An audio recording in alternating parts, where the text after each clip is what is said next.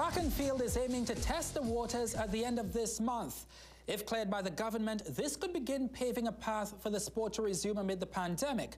In a wide-ranging interview with us today, NAAA President Ephraim Serrette expressed concern as our athletes continue preparations towards the Olympic Games this summer.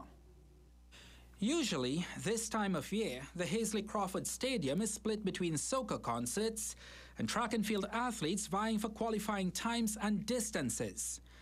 This year, neither is happening as COVID 19 also infects 2021. But with time running out and the Olympics drawing nearer, the NAAA's is hoping to host a test meet.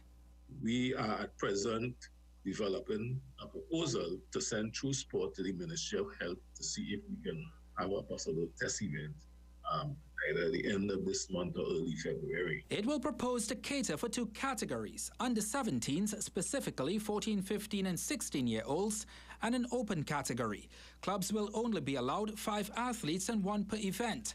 Athletes will have to vacate the stadium once the event is completed, and sanitization stations will be set up for both athletes and equipment our sport is not, we don't have national teams in training, but we have athletes who are preparing for Olympics.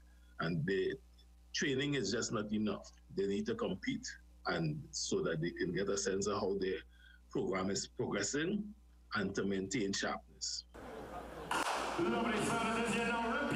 Such a test meet will set the stage for what a national championships will look like later this year. If things continue as they are, though, both athletes and administrators will be in a bind. Persons must be able to show a level of fitness and, you know, to compete head to head so that we can know who are the persons would represent in the, in the specific events and then where the relays are concerned.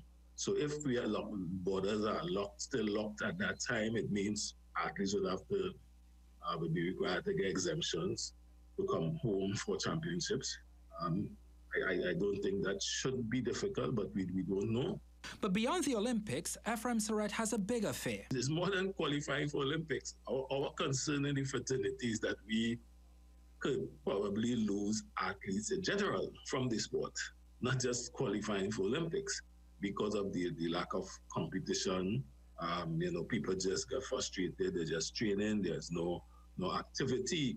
As the NAAA's seeks to get the sport back on track, they'll find a very strict lane they must stay in. Yeah, that fear of losing athletes is a very real and valid one as well.